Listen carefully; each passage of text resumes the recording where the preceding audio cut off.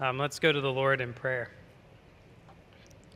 Father, I thank you so much for this day, Lord. I thank you for the weather that we can experience. I thank you for the coolness to come, Lord. I thank you that you have given us grace, Lord, and mercy and working in our lives in such a way to bring us here on this Sunday morning together as a church. And Lord, I pray that we would recognize our dependence on you. I pray, Lord, I would recognize my dependence on you in preaching today, Lord. I need you. And I pray that we would recognize our dependence, Lord, in needing you to work these truths upon our heart, Lord. I pray that they would impact our lives um, in such a meaningful way as to uh, help us to take steps closer to you in faith. In Jesus' name I pray, amen. So I want to talk to you today and uh, explain to you two experiences that I have had in my past with relationships with other Christians. My friend Andy, I met him in sometime in 2008. Um, in 2008, I was a very different person. I was in a bad place in many different ways. Um, but even though Andy and his family knew about the drugs, even though they knew about the other bad decisions I was making, they continued as a family to invite me to dinner. They continued as a family to, well, not as a family, Andy would continue to try to work out with me. I uh, liked working out occasionally back then as well. Um, and most importantly, they continued to work with me and talk to me about Christ. Um, I still have the copy of Desiring God by John Piper that Andy gave me back then.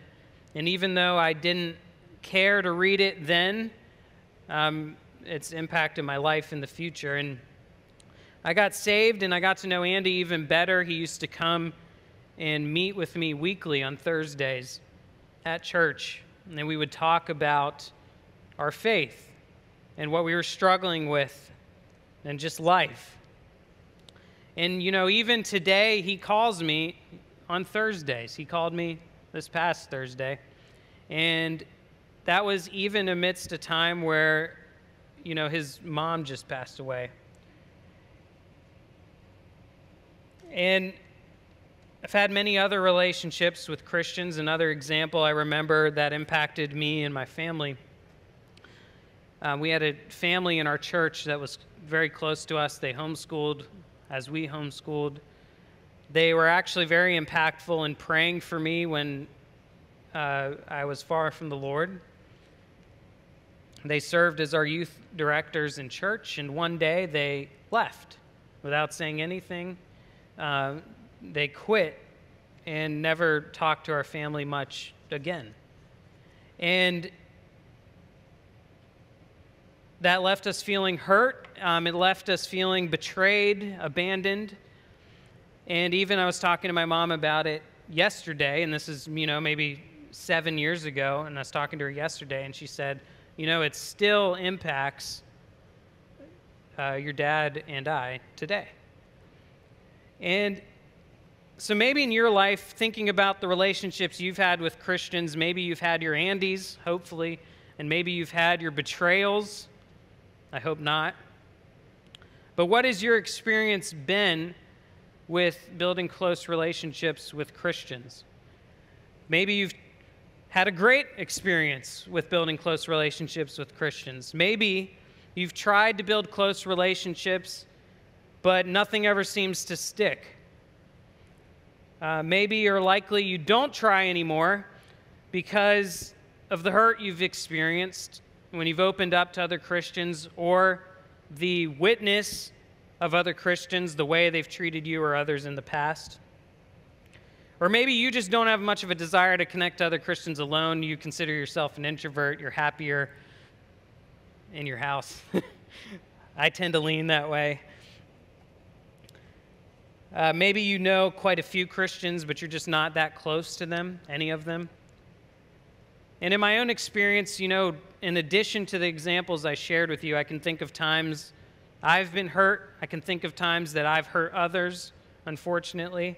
I can think of times I've been apathetic about knowing other Christians, and times I've been enthusiastic about knowing other Christians.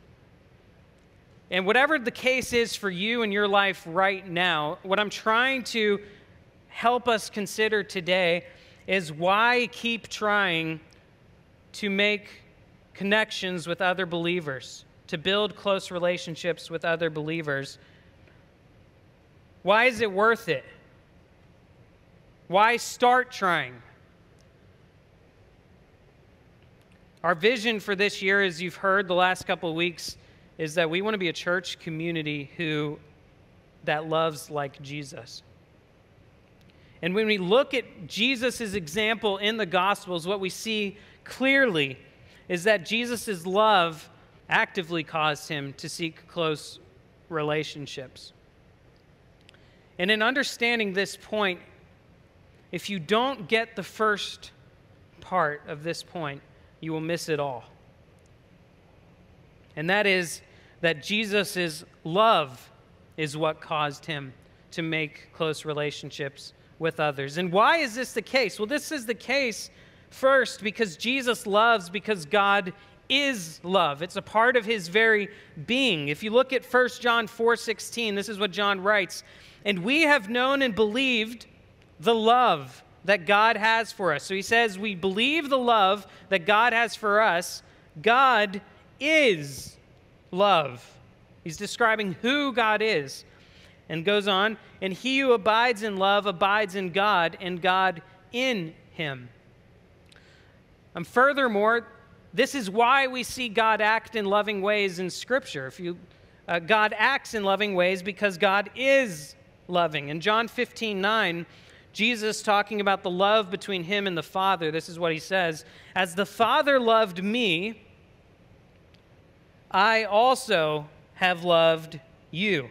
So Jesus acts in loving ways by loving us. Why? Because the Father loved him. There's a love between the Father, the Son, and the Spirit. And the greatest proof of this, proof of God's love, is the gospel. Jesus says in John 14 31, and we'll be going through quite a few scripture verses, so uh, it would probably be helpful to write them down. But John 14 31, Jesus says, But that the world may know that I love the Father. So he's trying to get the world to know that he loves the Father. How is he doing that? And as the Father gave me commandment, so I do. Jesus was sent, he did, so that the world would know the love of the Father. And we're very familiar with this, you know, in a passage like John 3:16, for God so loved the world, how did he show his love? That he gave his only begotten son that whoever believes in him should not perish but have everlasting life. And you know, we're talking here about loving like Jesus, but it's crucial that you understand that you can't love like Jesus before you love Jesus. Or you must love Jesus in order to love like Jesus. And as we saw, God so loved us by sending his Son, Jesus Christ, to die on the cross for our sins. Uh, he took the punishment for our sins upon himself and suffered and died. And after three days, he rose from the dead, which demonstrated his victory over sin and death. And he's calling us, he's calling you, he's calling me to devote ourselves to him in faith, to believe in him. And so I urge you today, if you have not given your life to Christ by believing in what he has do- done for you on the cross, I urge you to do that because you can't love like Jesus until you love Jesus. But ultimately, this gospel, this work of Christ on the cross, it teaches us about who God is. When we see how God has acted in the past, we learn about who he is, who is his being, what is he like when Scripture tells us who God is, we can expect Him to, to act in ways that match who he is. And so we see this all over the Bible. Uh, sometimes the Bible will tell us that God did something, like think, for example, that God delivered the Israelites from Egypt. And from that deliverance, we learn he delivered them because he loves them. Another way to ask it would be what kind of God would deliver a people from oppressors? A loving God. Again, you look in Scripture and you see statements talking to us about who God is. God is love, and then we can think about what kind of ways would a loving God act. And we know, as I've said, that he acted in the most loving way by sending Christ to die for us. But we also can have confidence that because he is a certain way, because he has acted a certain way, he will act a certain way in the future. And obviously, both of these are true regarding love. Scripture teaches us that God is love and describes the various loving acts that God has done throughout history. And so ultimately, we can say that Jesus loves because he is love. His whole mission to earth was fueled by love because it most glorified or praised God by revealing who God is. And it was this very love that caused him to actively seek close relationships. And so we're going to look at the Gospels and see how this played itself out in the life of Jesus. And this happened, these close relationships happened at many different levels of closeness. Uh, before it happened at the closest levels, you know, it happened at a broader surface level. As Jesus sought to build relationships with people through serving them. Um, even if you think about number one, we'll see here that his love caused him to spend time with the crowds. And how did Jesus do this? Well, first, he did something so simple as he fed them. He met their physical need for food. In Matthew 15 32, now Jesus called his disciples to himself and said, I have compassion on the multitude then he answers, Why? Why does he have compassion? Because they have now continued with me three days and have nothing to eat. And I do not want to send them away hungry, lest they faint on the way. So his compassion, his love caused him to feed them. He also healed their sick in Matthew 14 14. And when Jesus went out, he saw a great multitude, and he was moved with compassion for them and healed their sick. If you also think of something like the wedding at Cana, you know, why did Jesus spend miraculous power changing water to wine? And it has to be in part because he wanted them to have a better wedding. He was concerned for their joy at the wedding. But ultimately, even though he met physical needs, he healed sick, he fed people, he was concerned to feed them spiritually. If you look at Matthew 9 36, but when he saw the multitudes, he was moved with compassion for them. Why? Because they were weary and scattered like sheep having no shepherd. And so these examples demonstrate a God who was concerned so much for the people not that he just skipped everything and only taught them truth, but he met whatever need he could because he cared for them, because he loved, loved them. And it was this love, this very being, that caused him to actively seek these close relationships. And we also see that his love caused him to form close relationships with his disciples. If you remember first, it's uh, less spoken about in the Gospels, but Jesus had a group of 70 disciples that were closer to him than maybe the crowds. In Luke 10:1, after these things the Lord appointed 70 others also and sent them two by two before his face into every city and place where he himself was about to go. So he had this group of 70, but even closer than to 70, Jesus chose 12 men to be his close disciples. These are the ones we're most familiar with. Luke 6, 13 through 15 says, And when it was day, he called his disciples to himself. This is probably the bigger group. And from them he chose 12, whom he named, also named apostles Simon, whom he named Peter, and Andrew his brother, James and John, Philip and Bartholomew, Thomas and Matthew, James the son of Alphaeus, and Simon called the Zealot. And so Jesus chooses these 12 men to be his disciples. And I want you to think about what did life look like with these 12 disciples? Well, Jesus traveled with them. Jesus taught them. He taught them to pray. He taught them to teach. He taught them to heal. He taught them to cast out demons. He also went through dangerous situations with his disciples. If you think of uh, them going through the storm together on the boat, or if you think of them coming to the, um, I can't remember his name, but the, one of the demon possessed uh, men who was clearly dangerous. They were going through these tense, difficult situations together because they lived together. Jesus lived with his disciples. He served his disciples by washing their feet. He even confessed his sorrow to his disciples. Listen here in Matthew 26 37.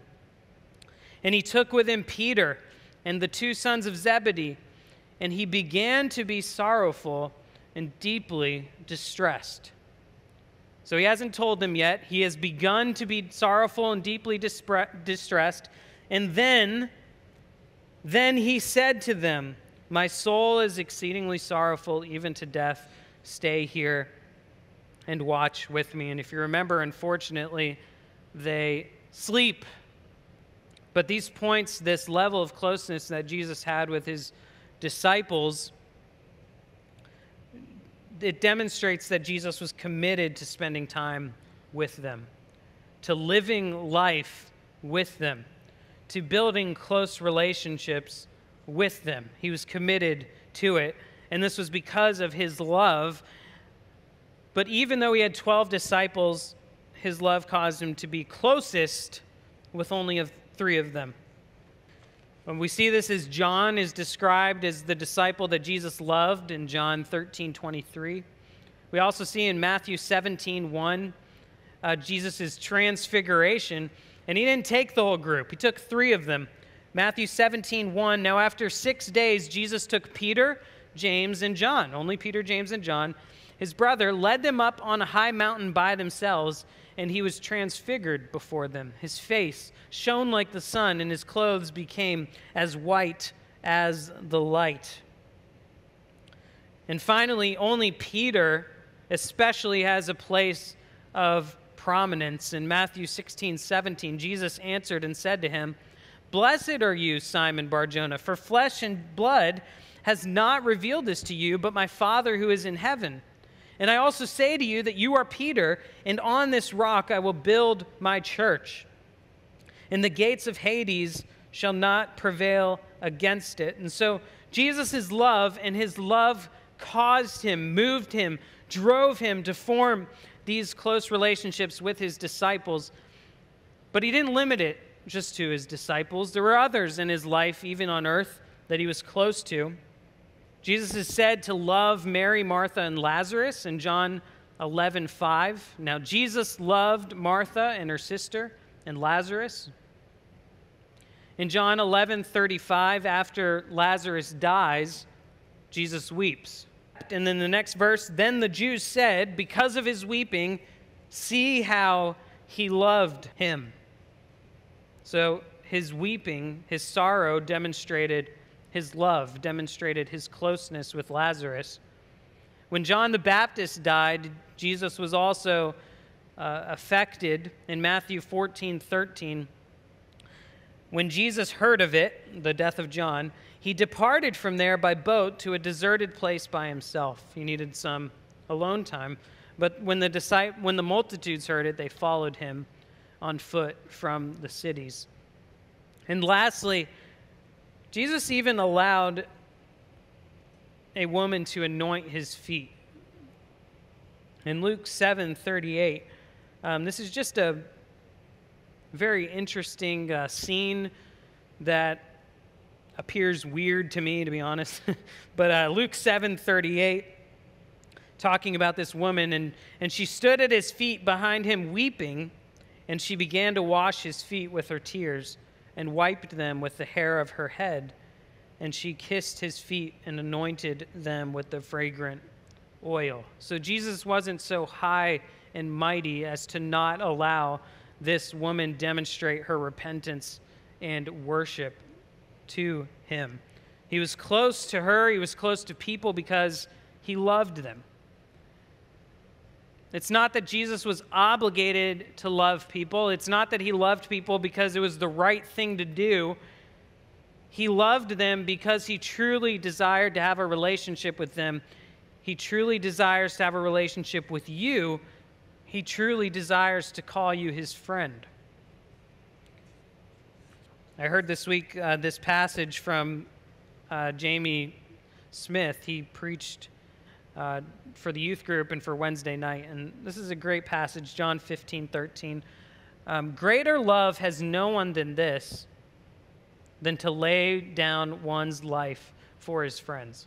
You are my friends if you do whatever I command you. No longer do I call you servants, for a servant does not know what his master is doing, but I have called you friends. For all things that I heard from my Father I have made known to you. You did not choose me, but I chose you and appointed you that you should go and bear fruit and that your fruit should remain, that whatever you ask the Father in my name, he may give you. These things I command you that you love one another. And so Jesus' love caused him to get close, close to the crowds. But at one point, they tried to throw him off a cliff. At another point, at the pinnacle of his ministry, they shouted, Crucify him, crucify him, and ultimately he was crucified. The disciples initially forsook him, and one of the closest, one of those three, Peter, denied him three times, and Judas, one of the other disciples, betrayed him. But it was worth it. Jesus didn't love because of the response he would get or the response he wouldn't get from people. He loved because he is love, and he had lovingly created mankind in his image. Valuable. Uh, regardless of the choices they made, and the choices we have made, and the choices we will make because of the lasting influence of sin in our lives, his love caused him to actively seek close relationships. It was demonstrated, it was proven, it was evidenced by these close relationships with the crowds, with the disciples, with Mary and Martha, even when the closest betrayed him. And really, it's no difference different for us. And that's why we say loving like Jesus will move us to know and be known by our church community. Notice here that this second statement has one thing in common with the first, and that's the love of Jesus. We love like Jesus because he first loved us, because he loved us. In John 13 34, Jesus says, A new commandment I give you that you love one another. So he commands us to love. Then he says, as I have loved you. So you love one another like I have loved. By this, all will know that you are my disciples if you have love for one another. And so the love that we have for one another is supposed to prove to the world that we are disciples of Christ. And what kind of love do we have? It's a Christ like love, as I have loved you. It's a love like Jesus. Uh, Paul says something very similar in 2 Corinthians 5:14. He says, "For the love of Christ compels us. It motivates us, it moves us, because we judge thus that if one died for all, then all died." And he died for all. Why? That those who live should live no longer for themselves, but for him who died for them and rose again. The love of Christ compels us because of the gospel, because of him dying on the cross for us. And finally, Ephesians 5 1 through 2, Paul again says, Therefore, be imitators of God as dear children, and walk in love, as Christ has also loved us and given himself for us, an offering and a sacrifice to God for a sweet smelling aroma. And so we love as Christ has loved. We love because Christ has loved us. And this is why we say, you know, we have in the atrium, we have the poster out there with our values, and we try to take those seriously and make our decisions based on those values. And one of them is gospel motivation. And we say the gospel is for every person at every moment. And these passages perfectly illustrate this. The gospel motivates us to love. The love of Christ is the reason, the impetus for us to love one another, to be known and know one another in our lives. The gospel motivates us to love. And we move on. Loving like Jesus will move us to know and be known. Now, why is this true? I think it's true at the simplest level because you don't love what you don't know.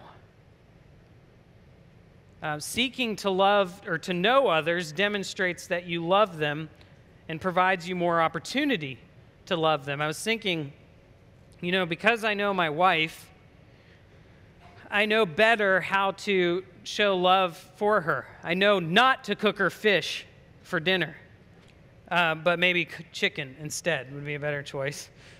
Um, I know what to buy her for Christmas. I know how to spend time with her because I know her. If I didn't know her, it'd be hard to love her. But even at a deeper level, those are some superficial examples. They're still me- meaningful. But at a deeper level, I understand and I'm able to be there for her through her joys, through her fears, through her afflictions and difficulties because I know her.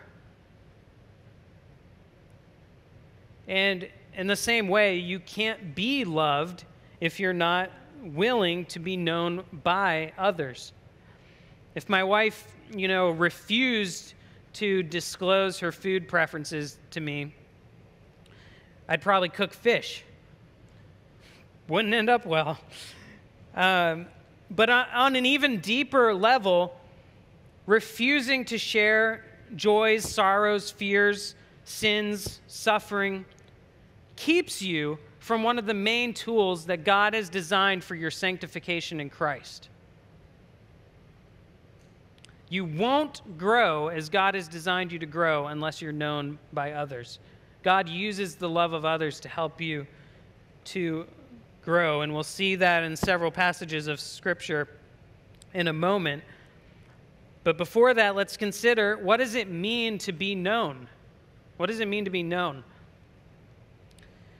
Um, if you do, if you read a bit about the philosophical trends that created the culture that we live in now, um, you'll understand that being an authentic, autonomous individual is crucial to the world that we live in right now. Um, one philosopher said it this way He said, In modernity, which is in part the time we're in now, uh, we remade the human person into a buffered self. What does that mean? Protected and autonomous and independent, free to determine our own good and pursue, pursue our own authentic path. We shut out incursions of the divine and demonic to carve out a privatized space to be free on our own terms. But then he says, the price that we paid was sealing ourselves off in a cell. We thought we were our own liberators. Turns out we might be our own jailers. And you might see this or feel this when you think, I'm most authentic when I make my own decisions that are different from the crowd. I need to be my own independent person. Or I'm truly free as an individual when I'm not weighed down by other people. Other people just hinder me from who I can be. Or even on a more basic level, you might think, as I've often thought, I'm just an introvert. It's just the way I am. I'm a private person, is what it is. But that's not being known according to Scripture. Uh, being known is also opposite to a prideful transparency. Uh, this is a way of focusing on self that does not understand boundaries and you know shares all over the place or maybe someone who's always concerned about sharing their difficulties and trials with everybody else but never being willing to actually address them and make meaningful decisions to change Scripturally, being known is the opposite to both of these. It's the opposite to being closed off, it's the opposite to a prideful transparency. It's the opposite to both of those things. Being known, according to Scripture, is a humble transparency. And what does that mean? It means being open at appropriate levels with other believers about your sorrow, joy, fear, hopes, and sin. And how do you spot the difference? You know, what does it look like in practice to be humbly transparent rather than pridefully transparent? And I think the main difference is purpose. Why are you being transparent? Or why are you being uh, quiet at that particular time? Is your reason for doing those things that you are trying to be closer to Christ or closer to loving others? Or is your reasoning more of a selfish motivation? We open ourselves up, we be known to other believers to let the love of Christ transform our lives, and we seek to know others, to, to love our neighbors as ourselves. And we see this throughout Scripture. Uh, we're going to look here at the one another commands of Scripture. Maybe you've heard about the one another commands, there's many of them in Scripture. What they express is that if you love your neighbor as yourself, it will look like this. It will look like these one another commands. Love looks this way, and these commands require knowing and being known by others. Ultimately, as we said, because you can't love that which you do not know. These commands describe what Christian community is supposed to look like. What should Christian believers, the relationship we have, look like? Um, one uh, theologian, this is the comment he made on one another relationships that I thought was helpful. And he said, The phrases each other and one another speak to relationships.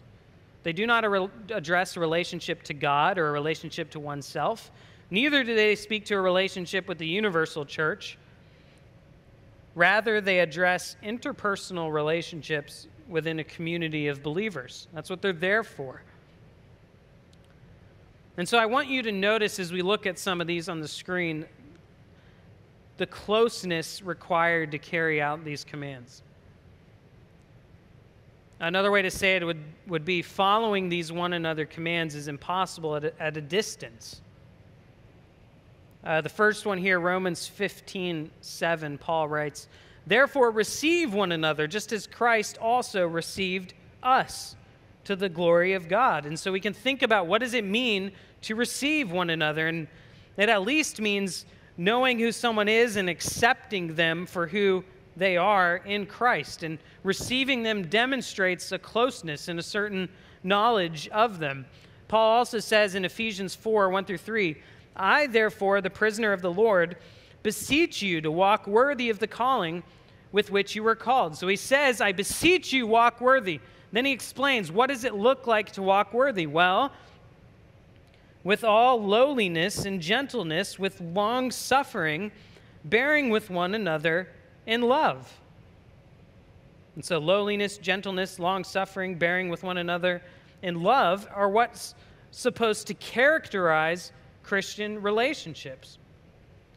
And unfortunately, so often, if you can think about times you've interacted with Christians, you know, how often, especially in this political climate, is gentleness a mark of our conversations with one another? Not very often, unfortunately. But the love of Christ moves us to these kinds of attitudes and actions with believers that require us to know people and to be known by them and to be okay with it. Ephesians 4:32 and be kind to one another, tenderhearted, forgiving one another, even as God in Christ forgave you. Notice the gospel motivation here. Um, explicitly gospel motivation. He says, "Forgive one another, even as God in Christ forgave you." So we forgive one another. Why? Or how? We forgive one another in the way of the gospel, in the way that God through Christ forgave us. Our forgiveness is gospel motivation, and it's a mark of Christian community. And typically, forgiveness happens when sin has happened, when we have been wronged, which requires a level of knowledge. The more you get close to people, the more you know people, the more you see the flaws, the more they see your flaws, and you have greater opportunity for forgiveness because we all mess up in those relationships. Uh, moving on here in Colossians 3:13 similarly bearing with one another and forgiving one another if anyone has a complaint against one another even as Christ forgave you so you must also do. Notice again forgiveness gospel motivation. In James 5:16 confess your trespasses to one another. That's being known. You can't confess hidden trespasses. That wouldn't make sense. Confess your trespasses to one another and pray for one another that you may be healed. The effective, fervent prayer of the righteous man avails much. Hebrews 3 13. But exhort one another daily while it is called today, lest any of you be hardened through the deceitfulness of sin. The implication here is that being hardened through the deceitfulness of sin may happen if you're not exhorted.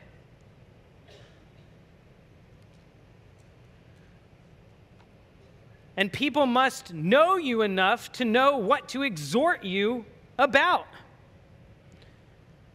Knowing someone on Sunday morning and shaking their hand in what we used to do, the greeting time, um, is not going to be enough for people to know you well enough to exhort you so that you're not hardened by the deceitfulness of sin.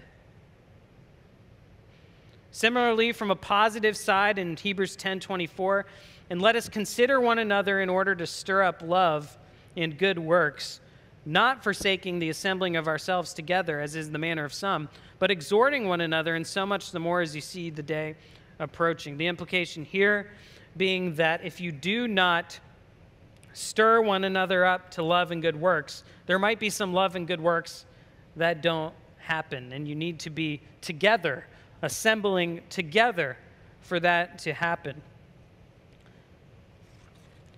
And so these, you know, commandments require you to be connected to your fellow Christian in a close way. They require me to be connected to my fellow Christians in a close way. And this might be incredibly difficult for you for a number of reasons. If you're an introvert, which typically means that people tired you out, tire you out or exhaust you rather than giving you energy and you'd rather be alone, this might be difficult for you. It might be difficult for you if you're able to make many surface level connections but never go deeper with anyone. It'll be difficult for you if you crave this, but it seems like nobody around you does. It'll be difficult for you if you don't seem to have the time to make this kind of commitment. I mean, Jesus spent his life with his disciples. Do we have time to spend our life with other believers? Um, there's so many more possible difficulties or reasons that it will be hard for me and hard for you to know and be known by our Christian community. But the love of Christ is the only sufficient motivator for you to push past them. Whether you're introverted, extroverted, shy, bubbly, maybe boring, um, we're all called to be closely connected to the church, the people who have been indwelt by the Spirit. And we must remember, too, this is kind of an outside point, but there's a real sense in which we have already been unified by the Spirit as Christians because we all have the same Spirit. And Paul is calling us in these one another commands to live like it, to live like the unified believers that we already are. And I want to spend a little bit of time here towards the end looking at the last one of these one another commandments in a little more detail, especially because this has been one that's been on my mind quite a bit in the last couple of months. In Galatians 6, this is what Paul says Brethren, if a man is overtaken in any trespass, you who are spiritual, restore such a one in a spirit of gentleness, considering yourself lest you also be tempted. Bear one another's burdens and so fulfill the law of Christ. And so, if we think of this from a perspective of knowing one another and being known, you can see that knowing and being known is necessary for restoration from sin. And this is because, as we've said, hidden sin cannot be restored by others. And so be known. Ask, Am I overtaken by sin? Is there someone I could share this with? Be willing to know others. Who around me that I already know is being overtaken by sin that I can encourage? Notice here that he says, You who are spiritual, restore. And what does it mean to be spiritual? And you know, chapter 6 here comes right after chapter 5 of Galatians, which the main point of chapter 5 is walking in the Spirit, is demonstrating the fruit of the Spirit. And so to be spiritual is to be a person who is controlled by the Spirit, who walks in the Spirit, who demonstrates the fruit of the Spirit love, joy, peace, patience, kindness, gentleness, I think goodness, and self control. Notice here, as we mentioned before, restoration must be gentle. Again, one of the fruit of the Spirit. And notice that restoration is cautious but not inactive. The spirit filled person recognizes the danger of sin, but the danger that he recognizes is not, does not keep him from acting. And this is because we realize as believers that um, we all have the capacity to fall into sin. Really, any sin. Uh, we stay strong and connected to Christ only by His grace. We also see here that knowing and being known is necessary for getting through our burdens. And this could be burdens such as sin, or it could be other difficulties or suffering in the believer's life. We see here first that bearing burdens fulfills the law of Christ. And this is talking about the love of Christ. If you look here at Galatians 5 14 through 15, just a couple verses previously, for all the law is fulfilled in one word, even in this, you shall love your neighbor as yourself. But if you bite and devour one another, beware lest you be consumed by one another. And why is it that we need to know and be known to bear one another's burdens? Well, simply because you can't bear unknown burdens. And your unknown burdens can't be borne by someone else. And so, what is it like? What does it mean to bear burdens? I've thought a lot about this in the past year because of the difficulty that my family has gone through with my brother's epilepsy, which uh, you know, keep praying for him. I thank you for that. He's in the hospital again, and it just, you know, it gets worse and worse, basically. So, in a situation where things get worse and worse, and you can't do anything to help it get better, what do you do? What does it mean to bear burdens? How can you help in that situation? And it's very difficult. Um, at the basic level, we believe that prayer means something and that when we pray, things happen that wouldn't happen if we didn't pray.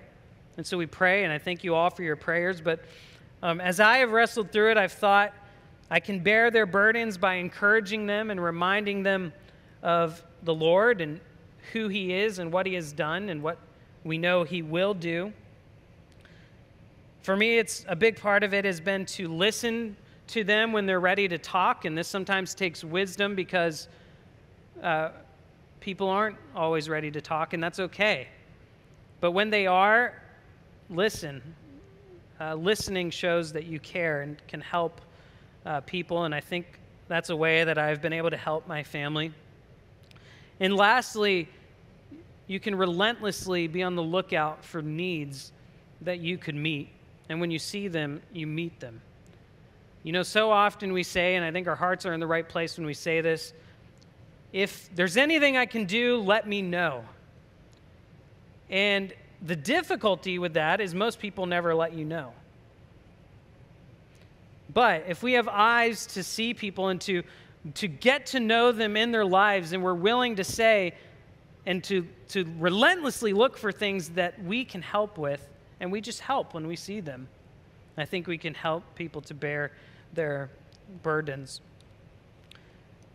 Love is driving us to know others with the aim of serving them in Christ, the love of Christ. And it's the only thing that will strengthen us. You know, often I've thought, honestly, and this may be a little bit selfishly, uh, that even the burden of my family is too difficult for me to bear, let alone uh, for them. But it's the love of Christ that is only strong enough thing to keep me moving forward, to keep them moving forward, to keep us moving forward as we seek to know and be known in our church. And so I want to close here by talking a bit about being known and knowing in our church community.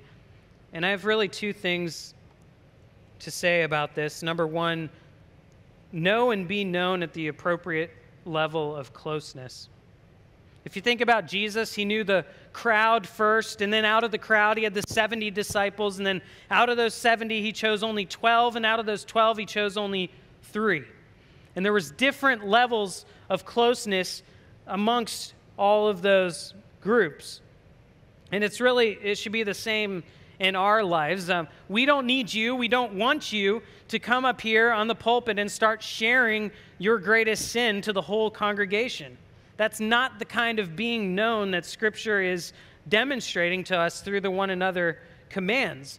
But you do need in your life one or two people who will be close enough that you can share with them anything and everything so that you can be helped and motivated and moved to be more like Christ.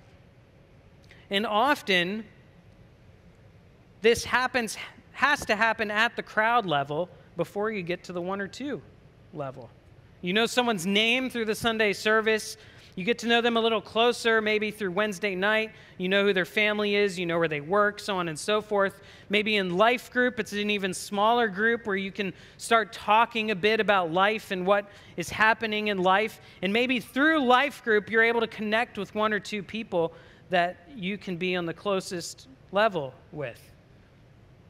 So know and be known at the appropriate level of closeness, keeping in mind the humble transparency we talked about previously. And lastly, embrace the risk of knowing and being known.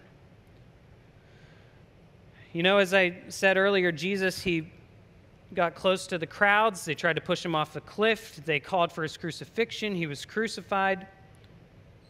He was close to his disciples. They betrayed him too. Uh, they forsook him. They denied him repeatedly. Judas explicitly, in front of everyone, betrayed him. If you think about Paul in the New Testament, this is what Paul says Demas has forsaken me, having loved this present world.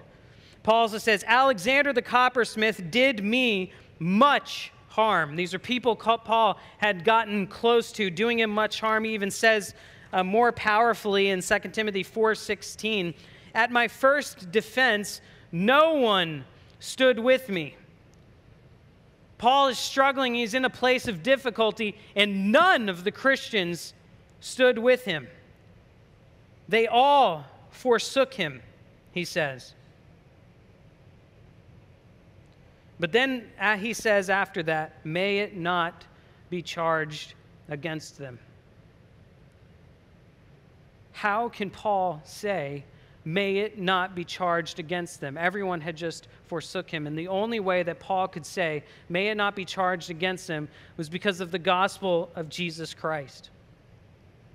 Only by the love of Christ, only loving like Jesus, will be a sufficient enough motivator for you to pursue close relationships with other believers. Because let me tell you, other believers are going to hurt you, and every time you get close enough to other believers to start sharing who you really are, you are opening yourself up to hurt. And love of Jesus, the love of Jesus is the only motivator that will get you through that for what Christ has for you. And this is what Peter says talking about Christ. I'll read a smaller portion of it in 1 Peter 2:21. When he was reviled, he did not revile in return. When he suffered, he did not threaten, but he committed himself to him who judges righteously, who himself bore our sins in his own body on the tree, that we, having died to sin, might live for righteousness, by whose stripes you were healed.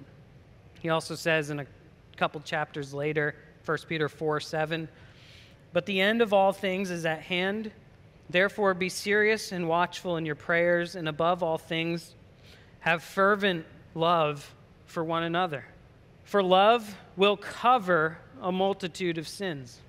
And he says, Be hospitable to one another without grumbling. And so I'll just encourage you today, and I'm encouraging myself to love like Jesus. You know, why is it worth it why should you try? Why should you start trying, keep trying? Only because of the love of Christ. Only because he loved you so much to send his son to die for you on the cross. And so we're calling you this year to know and be known with us this year through the difficulties of interpersonal relationships. And uh, in the next year, as we seek to know and be known by our church community, we aim as a church first to grow our life group ministry by 50 people. Um, this is not because we believe life group is a miracle or it's the best program, but it's because the purpose of life group is to provide an environment to facilitate one another relationships. The purpose of Sunday morning is not to do that. The purpose of Sunday morning is to worship together as a church, to, to preach the Word of God and learn what God has told us in His Word. Life Group's purpose is different, and we're trying to be intentional about that this year. And we hope through that ministry that you will get to know people and be able to form those close one on one relationships.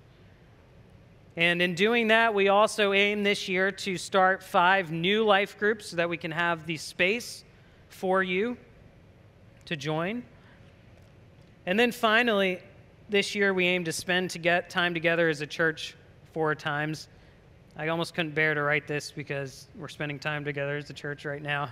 But what we mean here is that we are going to intentionally try to have uh, four times where we can get together to do something fun as a church. Whether this is eat food, whether it's if it's play softball, whether it's go to a some kind of game or play cornhole, whatever it is, we want to provide opportunities on the crowd level so that you can move and begin to be connected at a surface level and get closer and closer in relationships and connected to other believers. Because I realize, you know, it can be strange, especially if you're an introvert, to just show up at some life group that you uh, know no one. um, so I hope this year that you will uh, commit to, to know and be known with us as we seek to love like Jesus. Let's pray. Father, I thank you so much for your word. I thank you, Lord, for the